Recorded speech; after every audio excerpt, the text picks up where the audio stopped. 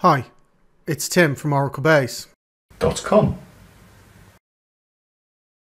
In this video we'll demonstrate the installation and configuration of Ansible.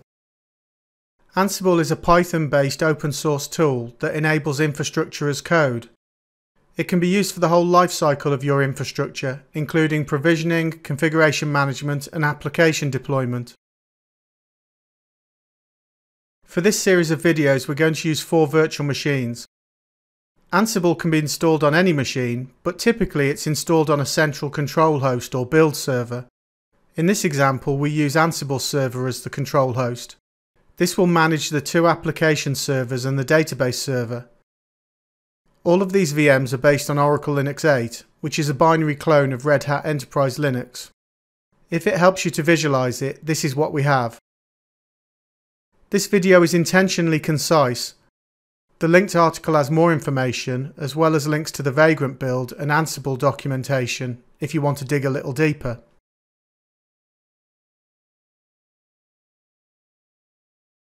First we need to install Ansible. On Enterprise Linux, Ansible is part of the Extra Packages for Enterprise Linux, or EPEL repository. We install the EPEL repository by installing the EPEL release package. With the repository in place, we can install the Ansible package. This will install any dependencies, including Python.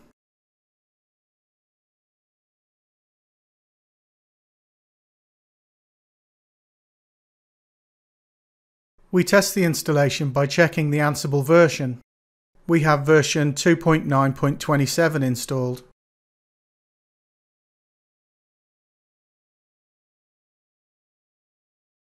We create a working directory and switch to it. We create an inventory file listing the hosts we want to manage. The inventory can be IP addresses, short names or fully qualified names. If we use host names, they must be resolvable to the IP address via a DNS or a host file entry.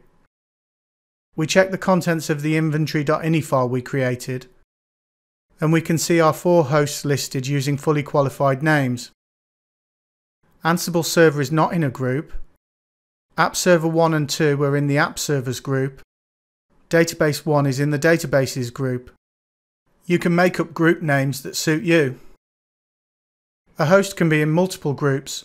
You'll see why that could be useful later.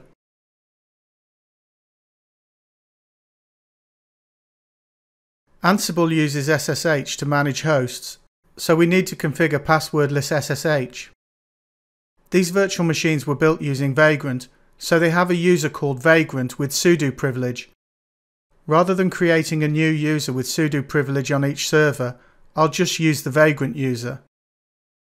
We create a key pair on the control host using the SSH keygen tool.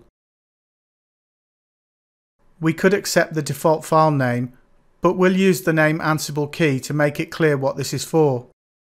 We don't use a passphrase for the key. If you want to use a passphrase, the linked article explains how to use it.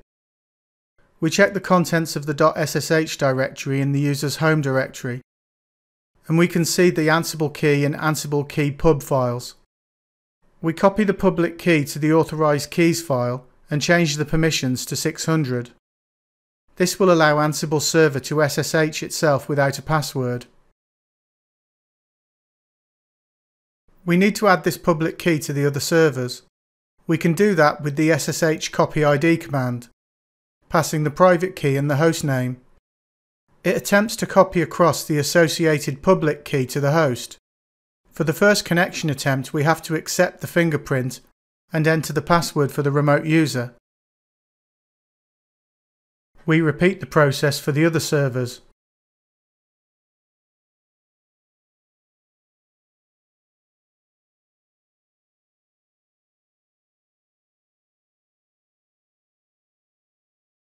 We can now make passwordless connections to the servers.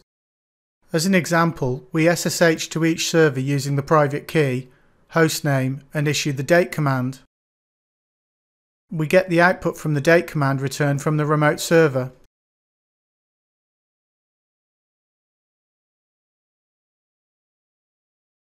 We're now in a position to test our setup. we make sure we're in our working directory. We use the Ansible command to run the ping module against a server. We have the word Ansible, the private key being used for the connection, the inventory containing our managed hosts, the host or group we want to run the command against, and we use the "-m flag to specify the ping module. Ping doesn't do a network ping, it makes an SSH connection to the remote server.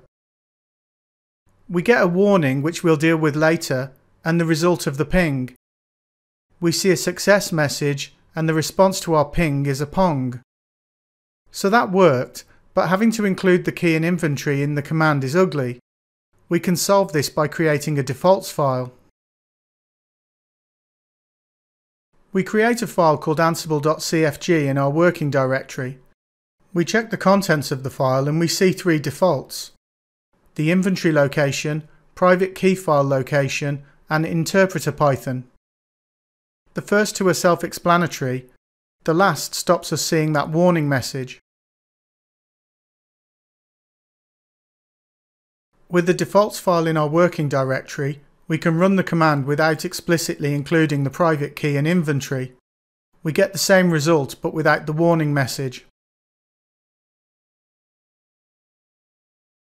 We've seen how we can manually run a command against a single host. We can also run a command against all hosts in a group. In this example, we run ping against all hosts in the app servers group we get a success message from App Server 1 and App Server 2. We can use all to run a command against all hosts in the inventory.